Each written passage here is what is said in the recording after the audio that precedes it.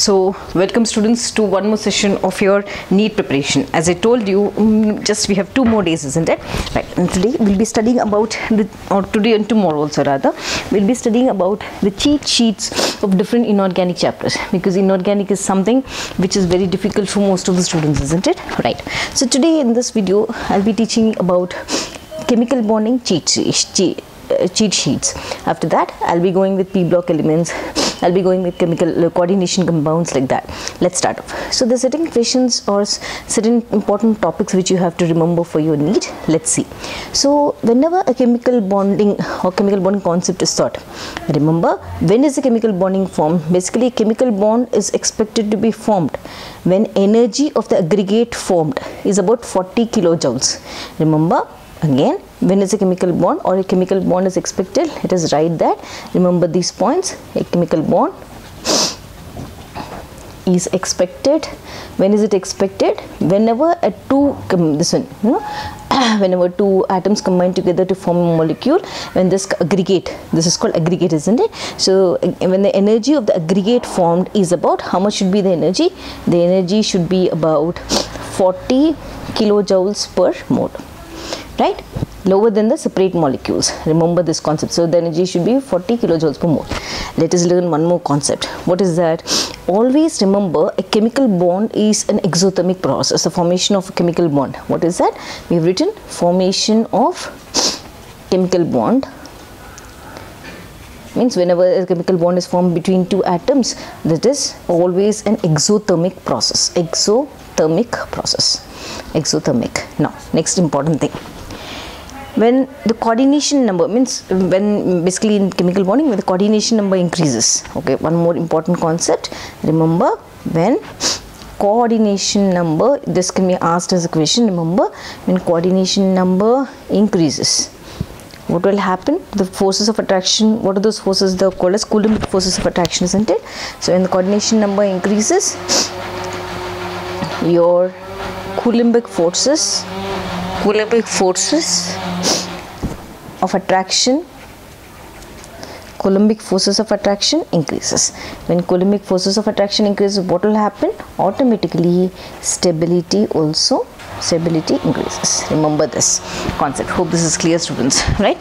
So now let us go to one more uh, che- uh, cheat sheet. Means concepts you know basic small small concepts but very important for your chemical bonding chapter. Right. After this let us learn as a general rule basically uh, means an atomic crystal when is an atomic crystal formed means uh, an atomic crystals are formed by which element? Lighter elements isn't it? Where are there is lighter elements present? They are present in the middle columns of the periodic table. So you can remember atomic crystals are formed by lighter elements which are present in the middle uh, period means middle columns of the periodic table. We have s block p block d block and f block. So middle column of the periodic table. That is one. Let us learn one more important thing so this question is basically asked. FeCl3 is more covalent than FeCl2 why? So let us write that question. Why is FeCl3 more covalent than FeCl2 if this question is asked? Why? What is the reason? Important word or the key word is polarizing power of Fe plus 3 important question uh, this is. So what is the reason FeCl3 is more covalent than FeCl2 because of polarizing power of Fe plus 3 right? So because of this polarizing power it will drag the electron cloud and form a covalent bond. Right? One more one same question like this only. Answer would be the same if the question is asked. Why is SnCl4 more covalent than SnCl2 if this is asked. The reason would be the same. Polarizing power of Sn, Sn here remember. Yeah so let us come back to the next concept of chemical bonding which is very important. What is that? When I go to uh, chemical bonding basically some questions are frequently asked. So I picked up these uh, concepts but boron among we very well know boron is an electron deficient compound so it mac, uh, it forms maximum number of electron deficient compounds than any other element in the periodic table. So remember this clue boron forms maximum electron deficient compounds. So boron electron deficient compounds. Understood? Compounds. Done. Next one. Greater the number of lone pairs. Suppose if the number of lone pairs are more. Let us see this concept now. Greater the number of lone pairs between two bonding atoms. What will be greater? Greater will be the repulsion obviously isn't it what will happen to the bond weaker will be the bond. Weaker will be the bond. We remember this concept. Let us go to one more. If I have to speak about the s and p electrons. So the actual number of s and p electrons where are they present in they present in the this one, no? the outermost shell of any element. What are, what do they represent they represent the maximum covalency. What am i trying to tell you? What is called maximum covalency? If they ask you the concept of maximum covalency maximum covalency remember it is nothing but actual number of s and p electrons present in the outermost shell present in outermost shell. That is called outermost shell. That is called maximum covalency. Right. Next one. If they ask you this question the hydrogen bond is stronger in HF and even it persists in vapor state. Right? If they ask you what would you means what would be the answer for you basically the hydrogen bond is stronger in HF the reason is such bonds they account for what is the fact in that? They account for the fact that gaseous hydrogen fluoride is largely polymer polymerized. Right? What am I trying to tell you? The hydrogen bond is stronger in HF and it also persists even in vapor phase. Let us write that hydrogen bond is stronger in HF and even it it persists in in vapor phase. In vapor phase. Okay. Basically HF when I take it gets largely polymerized what are the different uh, molecular spe species? It forms H2F2 it forms H3F3 it forms H4F4 it forms H5F5 it forms H6F6 remember this in the exam if they ask you. Right? Now next thing. Hydrogen bonding among we have different types of bonds isn't it? In that how is the hydrogen bonding? Why is it strongest because hydrogen bonding is stabilized by resonance right? So hydrogen bonding is the strongest bond let us write that among the different bonds hydrogen bond is the strongest when when the bond is bonded structure stabilized by resonance. When the bonded structure is stabilized by resonance. Very well known resonance stabilized resonance. Done. Next one. Let's come back and start with the next chapter that is cheat sheets for coordination compounds. Let us write the heading cheat sheets for coordination compounds. So these are the most important concepts. So try to note that. So what is Everitt salt? Everitt salts basically this is an uh, simple thing but in NCERT we don't use it. This may be one of the question. Everitt's salt. What is Everitt salt? It is K2Fe CN6 how did I get this? By reduction of Prussian blue. Right? So Prussian blue when I reduce it I get Everitt salts. If they ask you what is Everitt salts you can note this as an answer or take the correct answer for this. Next. If they ask you what is this reaction Boedeker reaction. Let me write the reaction.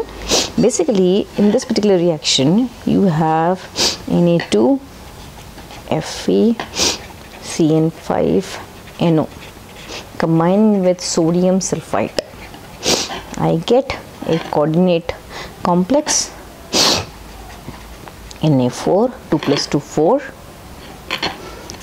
Fe is there just like a double salt see?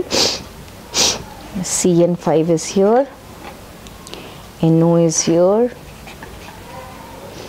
okay dot so3 this is called Boedeker reaction right? Yes. Let's see one more concept. What is masking?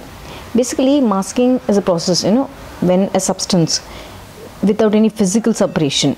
Or if it is transformed that is it does not enter into a particular reaction. Okay once again masking is a process in which a substance without physical separation of it. Means i'm not separating it physically.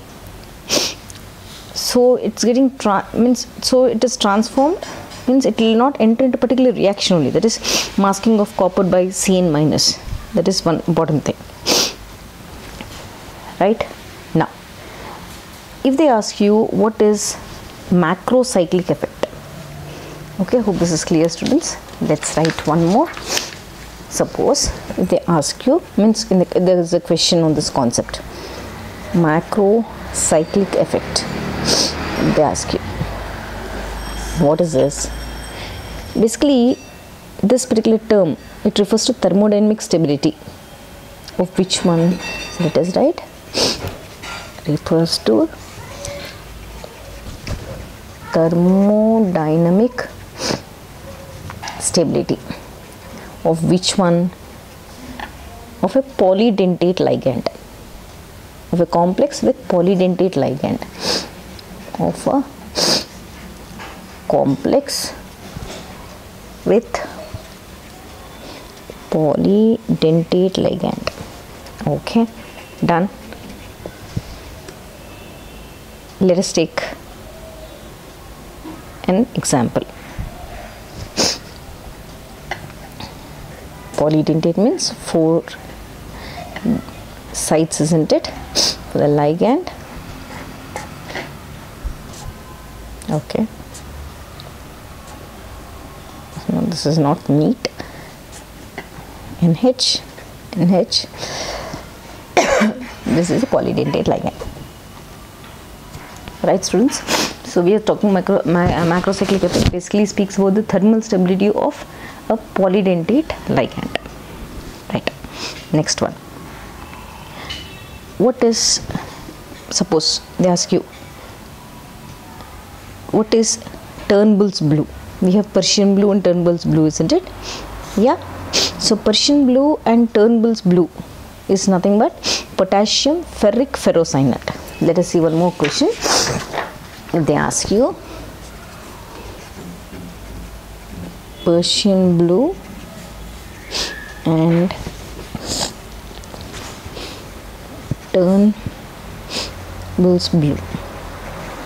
What is this this is nothing but potassium ferric ferrocyanide and but when I uh, see the color, the intensity of color of Turnbull's blue is less than Prussian blue. Why it why it is less? Because it is a decrease in color.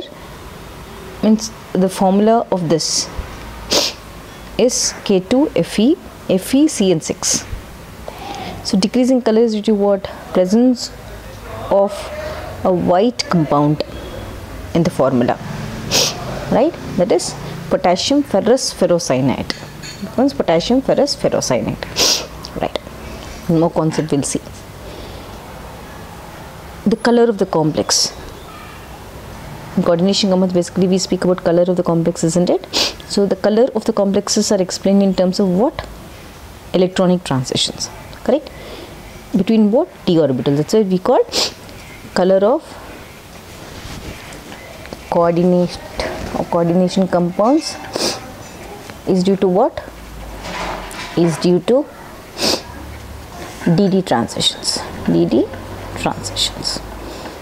Remember that. Right. Next.